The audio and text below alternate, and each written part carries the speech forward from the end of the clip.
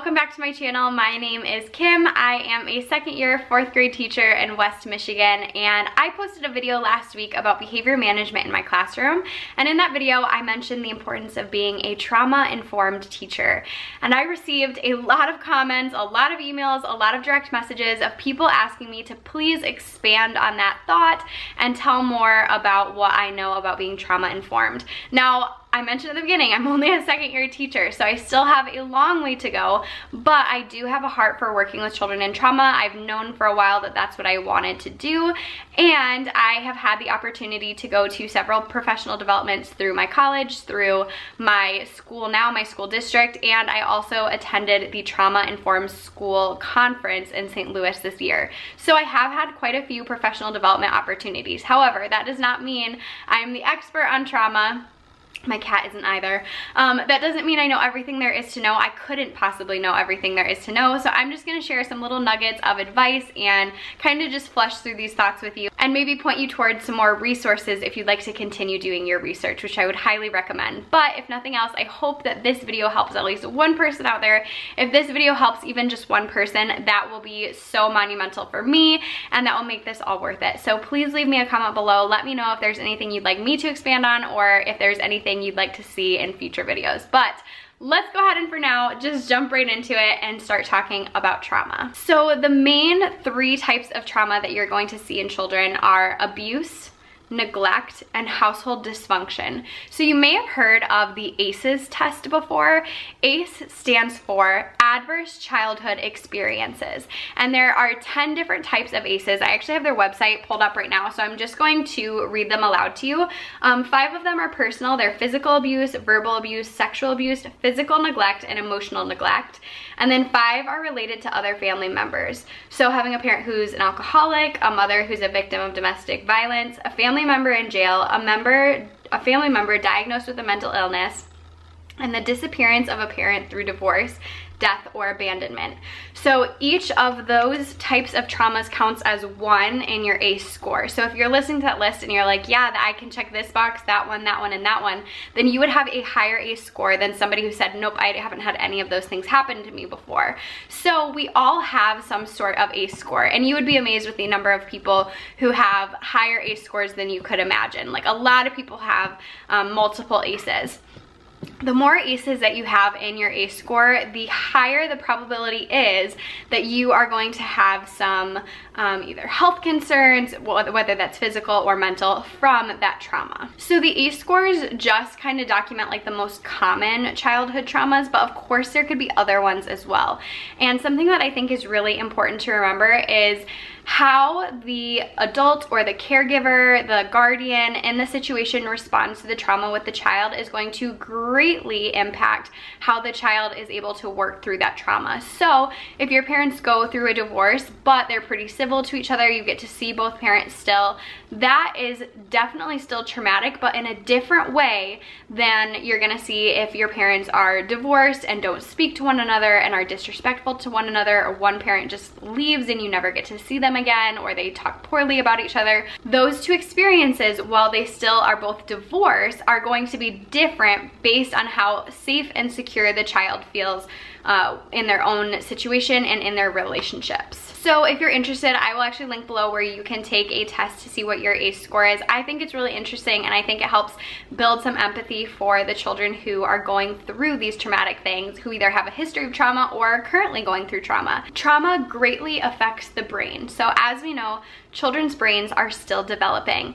And when a child goes through trauma, their brain actually develops differently than a child who is not going through the same type of trauma because stress has such a big impact on our brain. So I'm gonna put up a little like graphic right here. This is just something I found on Google. I will try to cite it below, but I think that this is really interesting. Stress and trauma actually affects the temporal lobe, um, which means that it becomes incredibly difficult for these children to learn how to self-regulate. So that's a huge issue because regulation is so important. Think about when you go to the grocery store and somebody like accidentally rams their cart into you there are two different ways you could react, right? You could just say like, oh, sorry, and like apologize even though it's not your fault, or like, you know, have like a friendly little discourse with them, realize that it's not a big deal. Or you could get really, really upset and really heated.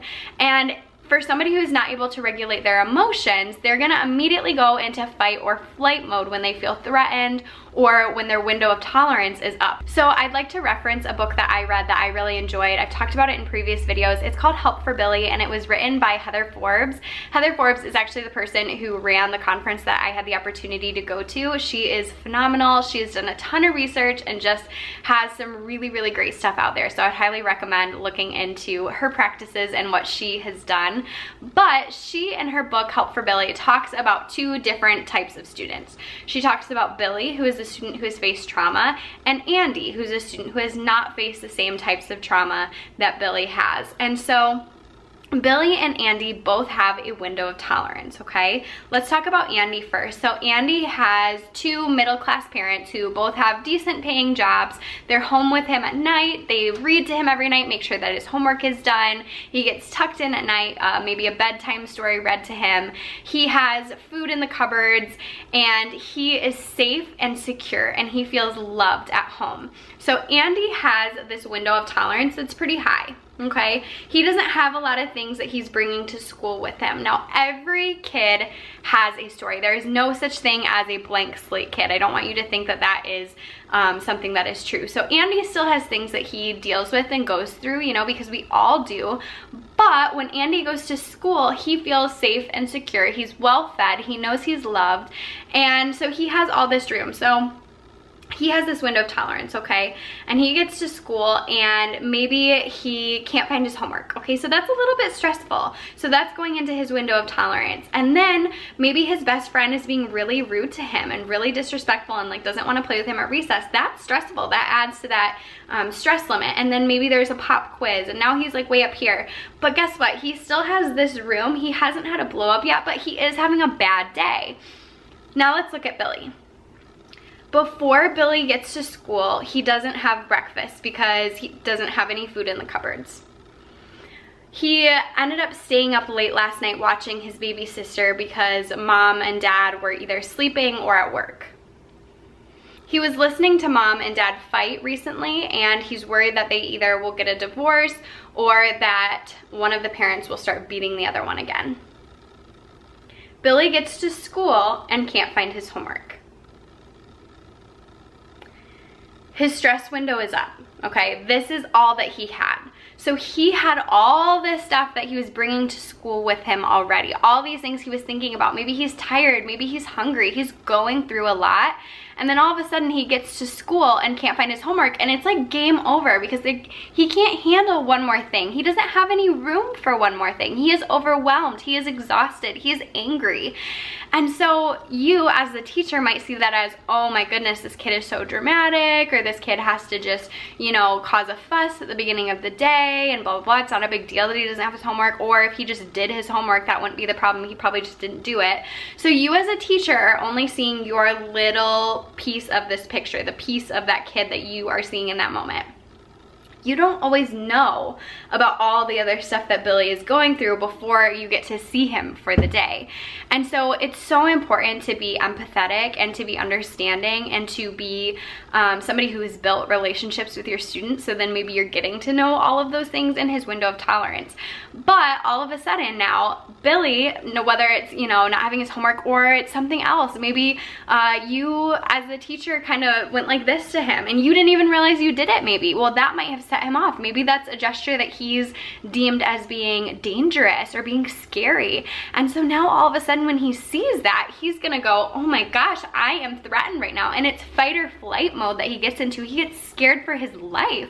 And so obviously he's going to, you know, get upset and maybe yell or maybe throw something or or you know threaten somebody else he's going to do that because he's scared. He's really, really scared. And this is a child, okay? I don't care if you're working with seven-year-olds or 17-year-olds, it is still a child, no matter what grade you teach. And you just have to remember, like, when a child is getting to that dysregulated state where, like, their window of tolerance is up, that window is bursted open, they're not going to act like their physical age. They're not gonna act like seven or 17 they're going to act like the age when their ACE started to occur. Or they're going to act like the age that they were when things were safe and things felt right. Their emotional age has not caught up to their physical age. It is not the same. Not the same, totally different. So just because physically they are nine years old, they might act like they're two or three. So now that we've talked about what trauma is, you're probably asking yourself, well, what do I do when a child is dysregulated like that? How do I help? What strategies can I implement in my room? And there's a lot and you're really gonna have to work with the kid and figure out what works for this particular student because every child is different. And if you think about like how you cope with stress versus how I cope with stress, like I might need to go eat some ice cream and you might need to go for a run. Or I might need to talk it out with my husband and you might need to just be quiet and, you know, do your own thing for a while. Like everybody copes with stress differently. And that's gonna be the same for this student who is learning to regulate. This child does not know how to regulate properly on their own just yet. So you need to work with them and figure out how that regulation is going to take place. So it can be a lot of different things. A lot of people will say Maslow before Bloom, and I think that is so important. It is so important to take care of a child's social emotional needs before you can start teaching them. So if a child is dysregulated saying, you know what, we don't have time for that right now, right now you need to work on your math, well, that might seem like a harmless thing to say, like that's just not going to work. That child is not going to be able to learn anything or really do anything productive until they are regulated. So the best thing that you can do when a child is dysregulated is help to regulate them. Before a child becomes dysregulated though, before you have any of this happen, it's really crucial to have a positive classroom community in your classroom. So it is important to both model and explicitly teach what it means to be kind to one another, what it means to have empathy, uh, what it means to be a classroom family or a classroom community, whatever you choose to call it in your room.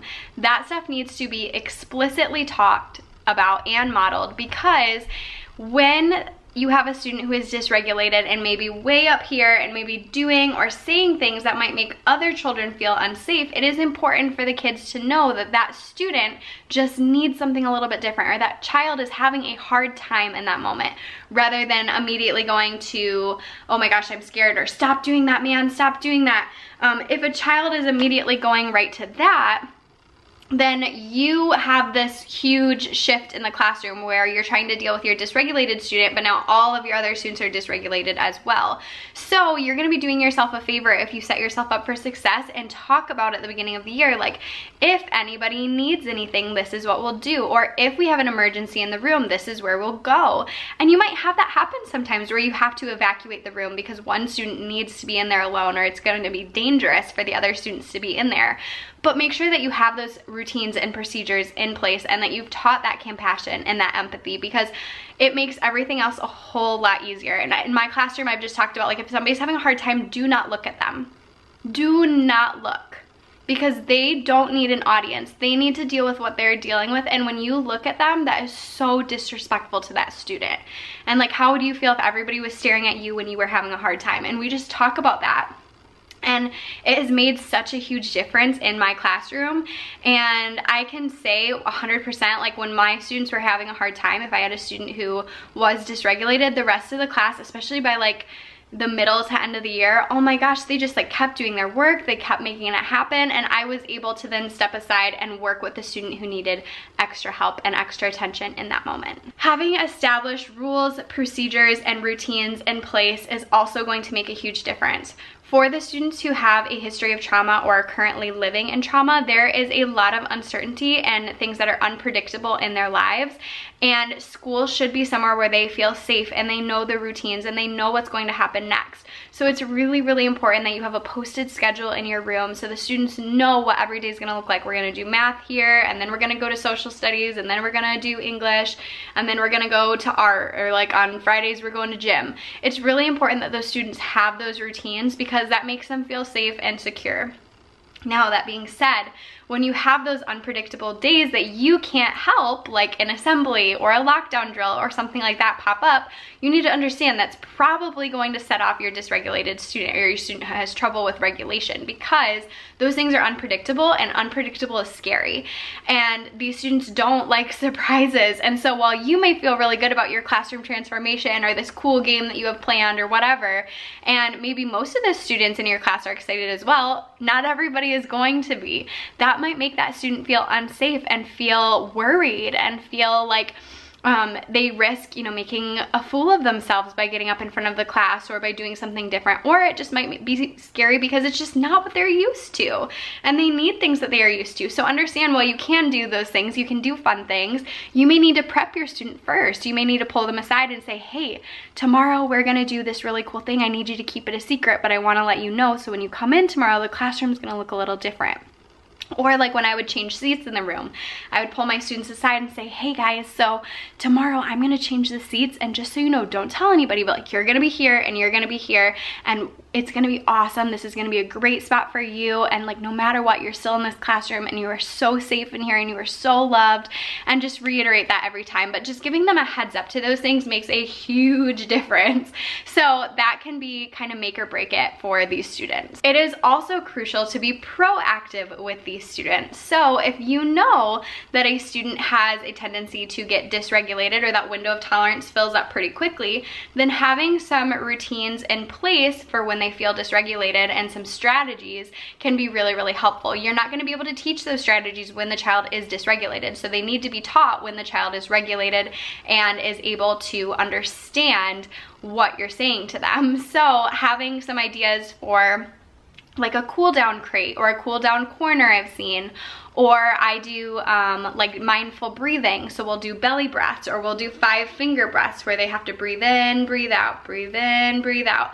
Um, we talk about all sorts of deep breathing techniques. We'll do um, some songs, stuff like that. So whatever you can figure out in your room to teach your kids that work for you, work developmentally for the age level that you're working with, those things are crucial to teach to the children who tend to get dysregulated. But honestly, I think they're helpful for the entire class. Like I've told my class, like I do deep belly breaths when I am nervous about something all the time and I'm a grown up and it's important for me to know how to regulate my body. So I teach that to the whole class, but having those strategies in place is going to really help because then when your child becomes dysregulated, you can say, hey, remember like we have those deep belly breaths. Like if you wanna do it with me, I think I'm gonna do some deep belly breaths or I'm gonna do some five finger breaths. And you're able to do that with the student if they are able to do it with you. Now, there are gonna be times potentially where your child is so dysregulated that you suggesting deep belly breaths, like no, no, no, no. They are way past deep belly breaths. Like they are out the door, they're running into traffic, like literally or figuratively, like I'm not, it just depends. And so sometimes the deep belly breaths aren't gonna work and that's okay. The important thing to remember is it's not about you. You need to take your pride card and you need to throw it out the window because being a teacher is hard it's really, really hard. And I know you want your students to respect you and love you and think that you're the boss. But at the same time, that is not what the dysregulated child needs. Like, you don't want to get into a power struggle where you're saying, well, I'm the teacher and you have to do this because you don't want just a compliant child. You want a child who is learning the skills that they're going to need for the rest of their lives. So if you are able to teach this child how to regulate themselves and teach them strategies and ways to cool down and, and blah, blah, blah, blah, blah, then that's going to be so much more beneficial than teaching them to just hide their emotions and be quiet. We don't want that. It is okay to not be okay and it's important that the kids know that. It's okay to get upset. It's okay to feel angry sometimes. And like the lives that these kids have, like they should be angry. Like we should be angry for them. Like it stinks. It's crazy. And so it's so important that we have that empathy as teachers but we are humans. And sometimes you're gonna feel frustrated or you're gonna feel angry. And so it's so important that you take a second to regulate yourself before you address that child. So even if that means you need to turn away from the child for a second, take a couple deep breaths, say a quick prayer if you need to, and then turn to the child do it because you are not going to be any help to that child if you are condescending or patronizing or disrespectful to them or you have body language that is frightening to them. Like that is no help to that student. That will not help them regulate. You need to be predictable. You need to be the calm within their chaos. It is so important. And i saw something on instagram recently that said he is not giving you a hard time. He's having a hard time. And I think that's such an important thing to remember. Like he is not, or she, he or she is not trying to make your life miserable, okay? he or she is having a difficult time and this is how they are expressing it. This is how they are asking for love. And children who need the most love are often going to ask for love in the most unlovable ways, okay? They are going to be the ones who say, I hate you, I hate you, you're the worst teacher ever. And they don't mean that. They really, really don't. They mean, I need help, I'm scared, I'm worried, I'm dealing with a lot right now. And the translation there, it's tricky. It's really, really tricky. Something that I found to be very beneficial is just talking aloud what's going on in the situation. So when a child is way up here and super dysregulated, that's when I'll say, man, you look really angry right now. And you don't always need to be super calm because sometimes the kids you're calm like freaks them out. So you don't need to be like whispering like, wow, you look really upset. You don't necessarily need to do that. Maybe that will work for some kids, but you also could be like, wow, you're really upset right now. I can tell you're really upset. And they'll go, yeah, yeah, I am upset. And you're like, man, um, you know, I saw that you forgot your homework and, and that must have really bummed you out this morning, huh? And they'll go, yeah, it did. And then you could even say something like, you must feel really rotten right now. I can tell you feel really rotten and really sad and, and really bummed about what's going on. Oh.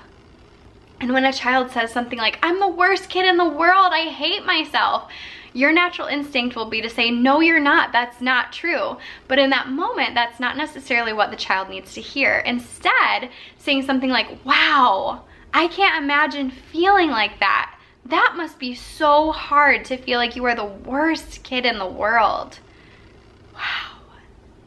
Wow, that is so hard and just empathizing with the student and speaking aloud what they're feeling and kind of just validating their feelings is really crucial. And then also saying things like, you know, you're safe. You are safe in this classroom. My job is to keep you safe and I will do that. I promise you, you are safe. I love you, I care for you, and I am here for you no matter what, unconditionally. I am here. And just saying that over and over because these kids, when they're in that fight or flight mode, they are feeling so unsafe. They sometimes are feeling like they are going to die, like it is life or death, whatever they are going through in that moment. And it is incredibly scary for them.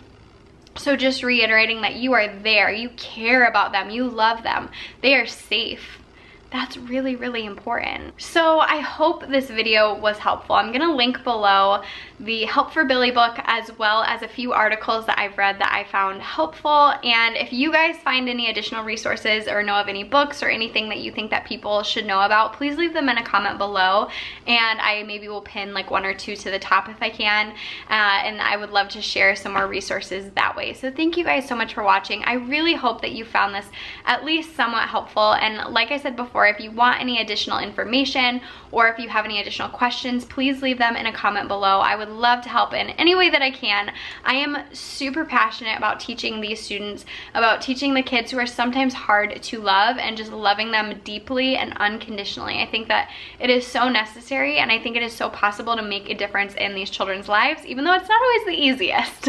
if you liked this video and would like to see more on my channel, please make sure to subscribe and hit that notification bell. You can also follow me on Instagram at elementary in the mitten. For now though, thanks so much for watching. Remember that you're incredibly beautiful and loved and you are not the worst teacher ever. And I will see you guys next time. Bye guys.